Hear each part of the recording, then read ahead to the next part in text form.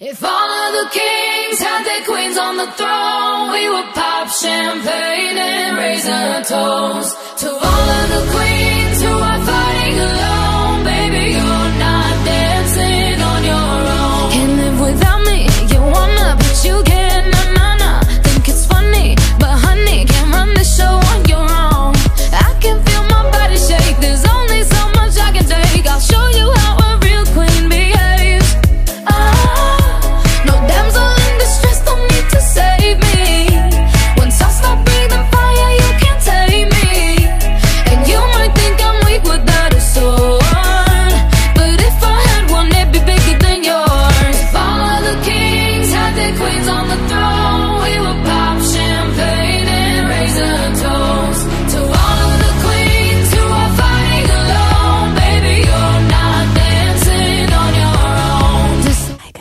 Liz Garnett here. I love this song and I was feeling it, you know, locked up in my own home. I really, really dig the message. Girls and boys, be empowered and be confident in yourself. Especially in times like this, we learn to be connected to ourselves again. Don't depend on situations, people, or other things. Never be attached because, in the end, the only thing that stays is yourself. And why did you delete all your dance videos, little Sky? I was kinda in a dilemma the past few months. I was just feeling very uncomfortable with my channel, to be honest. I realized that I was kinda objectifying myself, and then this beautiful bubble of what I thought YouTube could be for me just exploded. To be honest, I don't want to be perceived like this. Well, in the beginning, this was the whole idea, you know, a beautiful girl dancing to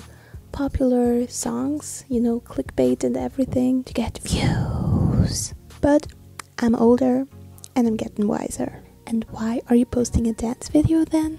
Simply because at the same time, I don't want to restrain myself. I just want to do things when I feel like doing them.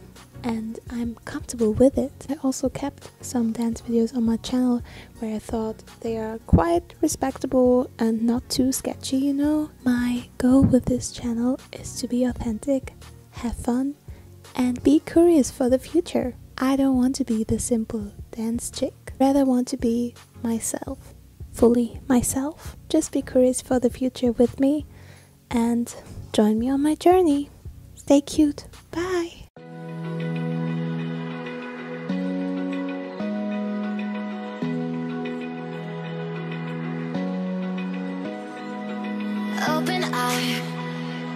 Feel the waves cut through me Hypnotized.